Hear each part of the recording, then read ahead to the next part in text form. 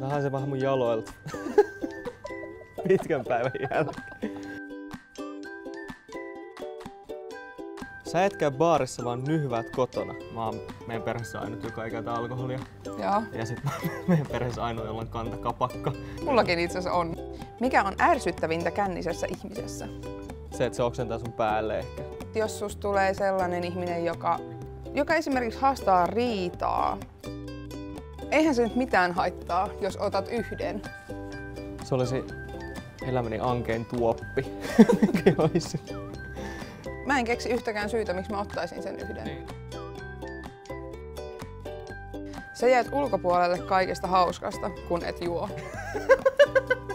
se on ehkä kuitenkin, kuitenkin se vika itsessä eikä alkoholissa, jos Jep. ei voi olla kivaa tai ei voi mennä mukaan ilman. Bilettäminen on hauska. Mikä on pahin pokausyritys känniseltä tyypiltä?